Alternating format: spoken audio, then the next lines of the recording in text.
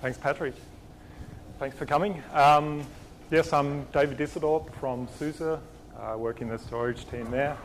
And I'll be talking about um, just a project I worked on uh, for a, a, hack week at SUSE, um, which was basically uh, a USB Ceph gateway. So a quick, look at the agenda. Um, I'll start off just with a, an introduction to the project itself. Uh, we'll take a look at, or just uh, have an overview of Ceph. Hopefully, you caught the talks earlier, talks earlier about um, sort of the Ceph architecture and uh, how it solves all your storage problems. Um, a look at USB storage, so the USB storage stack in, in Linux. Um, then move on to a demonstration. So I'll do a live demo with uh, the board I have with me. Um, yeah, I have a, a Ceph cluster running on my laptop, so I'll sort of yeah, use that for the, the test demo and then look at um, how this could also be used for public storage, so uh, public cloud storage. So uh, where we have, say, uh, Amazon or uh, Azure behind the, the storage gateway. And finally, look at um, yeah, some future challenges. Uh, so what else could be done with uh, a device like this or this sort of project? And finish with a, a conclusion. Can everyone hear me okay? Yeah. So the project itself um, was sort of conceived with, with Hack Week. Um, so uh, as an engineer at SUSE, we get normally once or twice a year um, an event, or we have an event called Hack Week. And within Hack Week, we can work on whatever we feel like working on. So um, yeah, it's really great time to sort of innovate within the company. Um, we can work on something which we're sort of passionate about. So in my case, it was I think a year or so ago now. I had I had an ARM board, so a Cubietruck, sort of gathering dust, dust in the corner. Um, wanted to, to do something with it. I wanted to learn something new. Um, and I work on storage normally, so I thought, yeah, look, I'll combine these things and uh, create a, a, USB storage gateway. Um, so in this case, we have uh, basically our, our USB host, so um, any stupid device with a USB port, which nowadays is pretty much everything. um, I can then connect this USB gateway to my, my device uh, and basically access the Ceph cluster or the Ceph storage um, through USB. So the goals of the project, um, yeah, initially uh, my main goal was just to get something usable. Uh, so I thought, okay, this could then be yeah, something at home. I could then potentially, say, run a Ceph cluster in my basement, then connect my stereo, my television, um, whatever else has a USB port, connect that and, and plumb it all into to Ceph for storage. Uh, another possibility would be booting from uh, the Ceph cluster. So most laptops nowadays can boot from USB. So you, know, you plug in the gateway, you boot straight from the, the Ceph cluster or the cloud storage. Encryption on the device itself, so um, in cases where I don't trust the, uh, the cloud storage, uh, especially for, for public cloud where I have no trust that they're going to um, you know, keep my data safe, so I want to do encryption on my side as close to, as close to the client as possible. Um, I can then keep the keys on, on the gateway, carry that with me, and yeah, don't share anything uh, with, with the public cloud or with the cloud. And finally, um, simple configuration. So uh, something like this, I didn't want to, to need to SSH into the, the board itself every time I wanted to change uh, the config there. So that was also a goal. So now look at Ceph. Um, yeah, hopefully you caught the, the talks earlier. Um, it's, it's basically a project, uh, an amazing project, which uh, sort of uh, provides the ability to aggregate you know, a pool of hardware or the storage across that hardware um, and have a logical storage pool, which can then be carved up for, for block storage, for file system, for object storage. Um, yeah, it's scalable. There's no sort of single point of failure. Um, in this case, or in, for this project, um, I'm mostly just focused on the Rados block device interface for Ceph.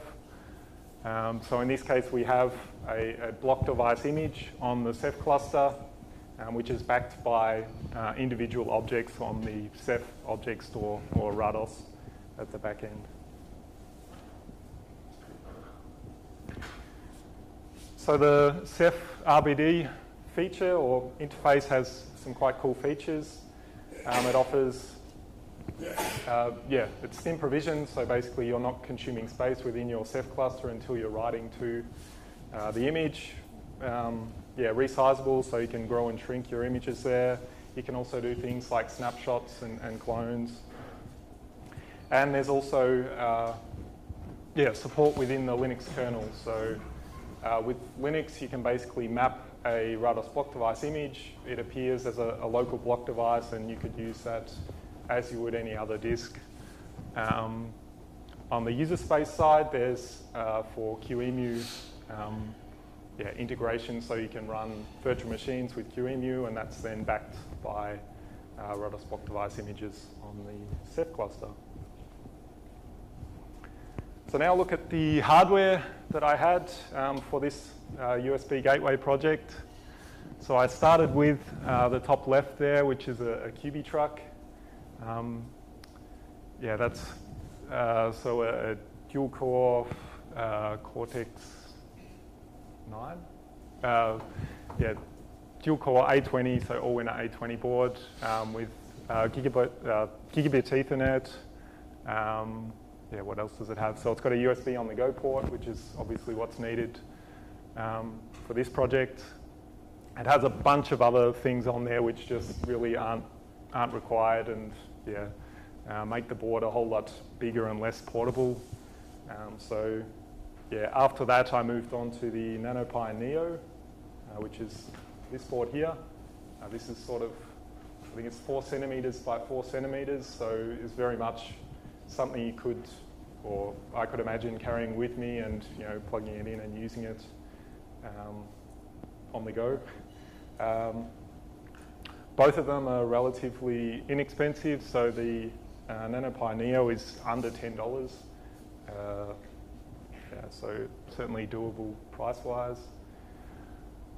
Um, yeah, performance-wise, they're not great in that, or at least the NanoPi Neo has uh, 100 megabits network and, and USB 2, so um, yeah, it would be nice to try something with more powerful hardware, but um, yeah, at this stage, it wasn't um, a priority. So um, yeah, the big benefit of using these boards is that they have, uh, thanks to the uh, sunxi community, uh, they have excellent mainline kernel support. Um, there's also a, an OpenSUSE Tumbleweed port for both boards, um, uh, which, which is something, you know, obviously working at SUSE, I wanted to run OpenSUSE on on a board like that. Um, So USB storage, um, I won't go into uh, huge detail. Um, yeah, I'd recommend a talk by uh, Krzysztof Opasiak so he spoke yesterday on USB. It was a great talk, sort of going through the details of USB on Linux. Um, this is just sort of listing what I used or what I needed to configure for this project. Uh, so USB is or can be used as a, a SCSI transport, um, which is how I'm using it in this case. Uh, so the two options there, bulk only transport and uh, USB attached SCSI. USB attached SCSI is then a, a, a more recent um, addition to, to USB, and that allows for things like uh, command tag queuing, um, and I think also out of order completion on, on USB 3. Uh, the USB gadget stack in Linux includes uh, two modules for, for handling this. Um, so we have the mass storage KO, um, which is what I ended up using, but there's also FTCM, which sort of plumbs into the uh, Linux kernel SCSI target. Uh, so that's basically a, a SCSI transport uh, for USB in Linux. So the, the gateway itself, um, as you saw, uh, all of the features are already there in Linux. Um, I mean, we have the Rados block device kernel client. Uh, we have the USB gadget stack, which um, supports USB mass storage. There's really not that much to do. Uh, for encryption, there's uh, DMCrypt. Uh, in the end, the project itself was or is mostly just about configuring these different components and making it you know, relatively easy to, to do that. So here's sort of a look at um, how the board's configured or um, yeah, how I've set up this, this gateway. Um, so basically what we have is um, a board that then boots uh, Linux once it's connected. Um, and initially we boot into or we expose a, a, configuration file system via USB. So this is just a, a RAM disk um, where you can yeah, you can provide your Ceph credentials to access the Ceph cluster. You can specify which image you want exposed via the board. Um, yeah, LUKS key for DMCrypt. Um, and once you're done with that, uh, you can eject. Uh, so this is exposed as a, an ejectable uh, logical unit. Um, so once, once that is then ejected, um, we intercept that eject or we detect it and then basically process the user configuration. So basically, at that stage, we can know, remount that image and take the Ceph credentials and look at uh, what needs to be exposed and um, go ahead and do that and expose it via USB. So um, now on to the demo. So as I already said, I have uh, my Ceph cluster running on my laptop. Um, so it's yeah, just a very simple vstart cluster. Um, just bring up console.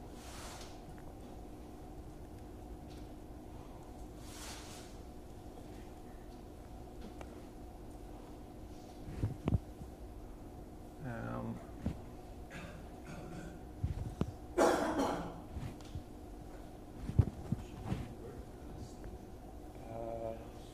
not quickly.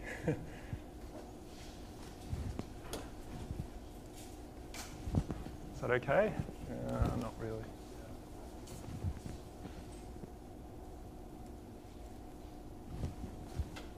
So there you can see I have my Ceph cluster running uh, with three OSDs, one monitor. Um, these are all just local processes on the laptop. And now what I'll do is go ahead and, and connect my gateway. So let's plug that in.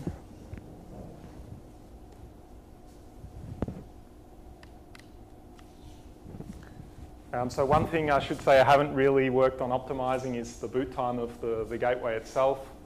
Um, so normally you would expect that you know, once you connect your USB key, you can immediately access the storage there. So uh, at this stage, it's still sort of in the tens of seconds until it boots and then eventually shows the configuration file system. So I'll just wait a little there. It's just coming up now. There we go. Um, so I have my device notification saying that there's a new uh, USB device. Um, so you can see this config file system here. So what this then has, uh, this is exposed, as I said earlier, as a RAM, or it's backed by a RAM disk. We have our RBD USB conf. So in here, basically, I'm saying, okay, I want to expose the USB image on my RBD pool uh, within the Ceph cluster. Um, I have my Ceph user that I want to use there. Close that. Um, in this case, I have a uh, run conf flag. So what this basically says is that when the gateway boots, it should first expose the configuration file system, uh, which is what we're seeing here. So if I want it to boot immediately and expose Ceph, um, then what I can do is go ahead and delete that file. Um, DMCrypt, so that's where we configure our uh, DMCrypt LUKS keys. Oh. And within Ceph, um, I just have the standard ceph.conf and the, the keyring there. So one thing I want to do is just copy uh, the ceph.conf and keyring uh, that I have for my Ceph cluster just do that from the command line. Good. So that back up. So now uh, the other thing I mentioned was that once we eject uh, this configuration file system, that uh, configuration is processed or committed, um, and we should then see the Rados block device image appear, and there it is uh, as Ceph down there. So basically, uh, the gateway has committed the, the configuration, uh, connects to the Ceph cluster on my laptop, and then maps it and exposes it via USB. Um, so here uh, we can see, so I have yeah, a one gigabyte uh, image there, which is, is now exposed and uh, connected via USB. Yes? Yes, I did. So in this case, I have a FAT file system on the device. Um, and I'll, I'll, use, so the reason why I have it as, as FAT rather than EXT or XFS or ButterFS uh, is because I now wanted to demonstrate um, a, a, stupid device accessing the, the Ceph storage. So what I have here is is uh, just a stock Android mobile phone, which obviously has no knowledge of, of Ceph. Um, but what I can also do is uh, connect the USB gateway now to, to the Android phone. So in this case, Android supports FAT32 uh, as you know USB stick. Um, so what I want to do is then wait for the board to boot, and just so we've got some data to write to the Ceph cluster, take a quick photo.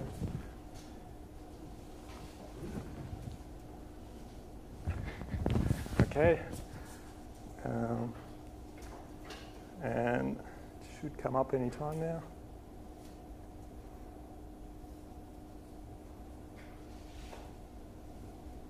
Hopefully. Yes, there it is. So I'll just copy over that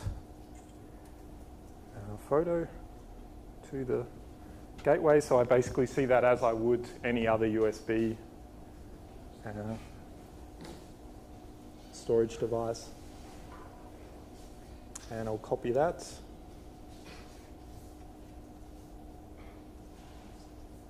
And now I can go ahead and eject it.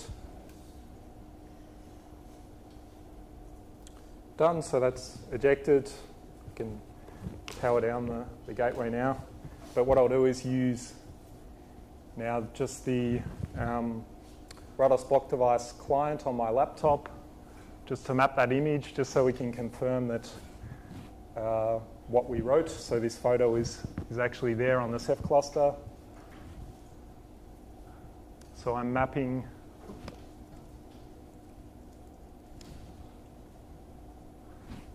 I've mapped the USB image there. Just need to mount it as well. Good. And there I can see that I've, so this is just, as I said, using the Rados block device client on my laptop. Uh, the gateway isn't involved. Uh, but there we can see the, the photo that I, oops, it's on this. So there's a very blurry photo of what I took earlier. Well, um, that's the demo. So now,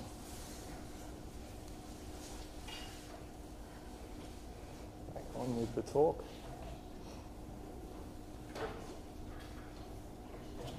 So any questions about the demonstration at this stage, or shall I go on? Yes, please. Um, so what I have is basically uh, once it can't access, so if the, the gateway boots and can't access the Ceph cluster, so if you boot it without network access, then it uh, basically exposes the config because it knows something has to be done. Um, yeah. Okay.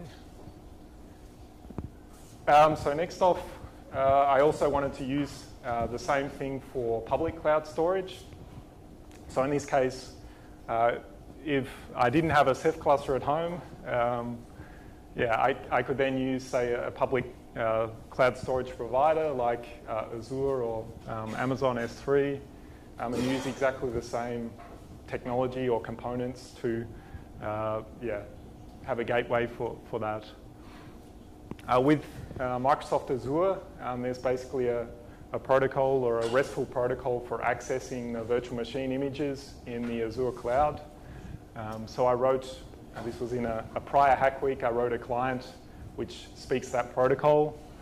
Um, so the idea was then to um, yeah, basically map between the uh, SCSI requests coming in from the USB host into this um, Azure uh, RESTful uh, protocol for um, yeah, blob IO. So with this, um, I use the um, LIO, so in-kernel SCSI target. Uh, with LIO, there's a user space backend, which is uh, TCMU runner. Uh, I think that was added by uh, Andy Grover from Red Hat uh, worked on that. Um, so basically, with this backend, um, we have yeah, something running in user space, which then receives the SCSI request from the USB host. Um, with that backend, I just map that to then a, a public cloud request, so an Azure um, block blob request, and that goes into the cloud. So this uses the uh, Elasto Cloud client, um, which is a project I worked on for that. Um, this is basically just a, a POSIX-like uh, library for yeah, performing uh, RESTful Cloud I.O. Um, as I said earlier, I have then the LIO backend, which handles mapping of, of the SCSI requests to uh, the Elasto library calls. So it looks something like this for uh, the public cloud case. Here we have uh, the USB host on the left um, connected to the USB gateway. That goes, or the SCSI requests are then processed by the uh, Linux iSCSI target, or sorry, SCSI target. Um, there's TCMU uh, above or below that, um, basically as the user space backend. And finally, there's Elasto, which handles speaking with the uh, Microsoft Azure cloud. Okay. Um, next up, testing. Um, yeah, so with this project, I didn't really want to, or at least initially I was testing everything on the hardware itself, which is a little fiddly when you're you know, plugging in, um, pulling out cables all day. Um, so I found later on there was this uh, dummy HCD module uh, within the Linux kernel. This is great for testing exactly uh, something like this, um, where basically uh, you you can use that as a, as a loopback in a single system. So in my case, I just had a VM with everything on there and uh, used the USB loopback functionality to test it. So now on to future challenges. Um, so in the hack week that I had, uh, or the one week I had, I think um, yeah, I proved that it is perfectly possible to, to, to have something like this. I think it is a, a reasonable uh, device or something which is, is usable potentially to others. Um, but I think there are still yeah, plenty of, of things which, which could be done or it could be improved in many different ways. Um, yeah, the first on the list I have is, is con concurrent image access. So imagine where you have, uh, say, you know, if they cost under $10, then you could imagine maybe buying 10 of these and sort of exposing maybe the same image via these gateways. In that case, you would need a way to, to manage um, exposing a consistent image to all of those uh, hosts or connected hosts.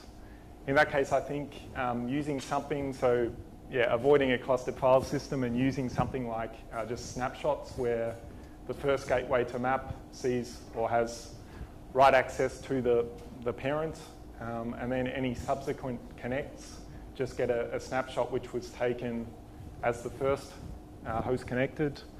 Um, I think that may be uh, something which would yeah, make having concurrent access usable anyway. Um, some other challenges. Um, so power is definitely a challenge. Um, I have had problems powering the board from uh, yeah, portable devices like mobile phones, it's uh, yeah, really a little unsure whether uh, the board will come up or not. So one option would be to add a, a, battery to the board so you're not so reliant on um, power from the USB host. Uh, FTCM, so this was the um, LIO uh, USB transport that plumbs straight into the, yeah, the Linux kernel SCSI targets. I didn't actually get that working on uh, the board, um, so I wanted to sort of have an, another play around with that and see whether yeah, it was a hardware issue or whether um, I just didn't set it up right. Caching, um, so many of these embedded boards have you know, uh, uh, some onboard storage or in this case an SD card um, and when the root file system is you know, under one gigabytes, you could use the rest of that SD card or um, onboard storage for caching as a, a read cache or a, a write back cache. Um, that would certainly be something to look at. Um, oh, uh, there's caching again, but uh, performance-wise, so I think at this stage, most important would be the boot time. So you saw it takes yeah, tens of seconds to come up and expose the storage. Um, one thing I did have, or at least with the uh, Cubietruck, uh, I did try running everything from the initramfs, uh, which actually worked quite well. So in that case, I had it booting in, yeah, I think it was three or four seconds. So it was much quicker, but uh, it's a little ugly um, implementation-wise. Also, in terms of raw storage performance, um, I think having USB 3 and yeah, gigabit Ethernet um, or fast Wi-Fi would be uh, yeah, great. The only problem is that these boards are quite expensive and they're also not as portable as, or at least the ones I've seen aren't as portable as the uh, NanoPi Neo. Um, in conclusion, uh, yeah, Ceph is, is fantastic. Um, uh, it, it, solves all of your storage problems. I would just say recommend using it. Uh, anyone that hasn't tried it out. Um, in terms of utilizing Ceph from yeah, many devices or opening up Ceph to many more devices, I think something like a USB gateway is uh, useful for that. I think it's a, a, viable option for something like that. Um, I think, as in particular, um, using encryption on the board itself is particularly beneficial for uh, a public cloud or where it's backed by a public cloud. Um, yeah, uh, cheap hardware, um, really under $10 that makes something like this or a project like this quite, quite possible, quite viable. And, and having open source or uh, Linux kernel mainline, mainline kernel support uh, for something like this is uh, hugely beneficial. But otherwise, looks like I'm a little early, but um, yeah, I, I, guess I'd like to thank um, beforehand uh, the upstream sunxi community for, for kernel hacking and getting these boards working. Uh, they do really an amazing job. And also, uh, so Andreas Färber, uh, Dirk Müller, and uh, Alex Graf from SUSE, because they've also worked on the uh, OpenSUSE Tumbleweed port for these, these boards. Um, otherwise, any questions? Uh, yes? What uh, bandwidth were you able to achieve on USB 2 with OTG on the So the question was, uh, what sort of band, bandwidth or performance could I get with USB 2? Um, on the, so I mostly did benchmarking on the Cubietruck board, which has a, a gigabit Ethernet port. Um, in that case, it was bottlenecked by the, the USB 2 port, and I think it was, yeah, it was sort of 10 to 15 megabytes per second um, throughput um, via USB to the to the Ceph cluster. Um, in this case, my Ceph cluster is is memory backed anyway, so yeah, the bandwidth, or sorry, the bottleneck was um, very much the uh, USB 2 port on the board. Um, other questions? Yes. continuation on, on that one. Do you get that kind of uh, throughput when you are encrypting, or is the, is the CPU uh, limiting you at that point? Uh, I haven't done uh, benchmarks with encryption yet. So the Allwinner chips include basically um, yeah, offload support for certain um, encryption types. Um, it's not fully implemented on the H3 chip. Uh, so the A20 I think was done. Uh, the H3 is still work in progress from the upstream sunxi guys. Uh, but yeah, I think once that's done, uh, it shouldn't be too much of a performance penalty. And another question, have you thought about, because we're doing most of the stuff uh, at the kernel level anyways, actually moving from uh, from fully fledged distro to something like unikernel, which would shrink your your uh, boot up time significantly when you when you go from a gigabyte root system to a few megabytes of, of binary that you, you actually just do load. So the, the question was, have I considered uh, using a, a much smaller Linux distribution? Um, yeah, I work for SUSE, so obviously uh, playing with um, OpenSUSE is uh, something I like doing. Um, uh, but uh, that said, I could also, so I, I mentioned I had it running from initramfs on OpenSUSE. So I could also just um, build this initramfs um, and do everything from that. In that case, it was also like 15 megabytes uh, with everything on there uh, to run this project. So uh, it certainly is possible to use yeah minimal um, setup and and yeah run everything uh, very quickly. Yes. Yeah, sure. Uh, how do you ensure consistency of the block device? I mean, because if you eject the device from USB too fast, you will not have time to sync the Yeah. Yeah, well, that's so. This is a problem with any uh, USB storage, right? Um, uh, normally, I think most hosts are configured to do um, yeah, synchronous I/O to the, the USB storage. Um, you should always eject the device before you unplug. Um, same goes for any other USB key. So I don't think it differs too much in that regard from a regular USB key. I mean, the block device is on the network, in fact. Yes. So Uh, network outages on from the USB gadget, you still Yeah. But, th- but this is uh, completely synchronous on the gateway side. So, um, yeah, it's not buffering anything. So if you basically, if you lose network access, then you won't get successful, successful IOs on the USB side. So you mean uh, sync, uh, meaning the USB gadget asks your userland to sync. You will just wait for the Ceph server to tell you, okay, it's, it's uh, committed. So any USB request won't be acknowledged as successful until it's basically reached the Ceph storage, and then Ceph obviously does its magic for replication at the back end. Once the gateway has a completion, uh, then it will finally acknowledge to the USB host that the I/O is successfully complete. So, um, yeah, it's really not not doing much in that regard. Uh, there's no buffering on the gateway at, at this stage. One more question. Interested, how did you manage to work out with the, with the config? Initially, you showed that the, there is uh, exported block Yes. volume, uh, where you configure all the parameters Yes. to access the Ceph cluster. Um, can you access that later on again, or once you configure it and delete it, it's inaccessible? And it's So, so this, uh, so the question was, um, uh, how do you manage uh, accessing the configuration again?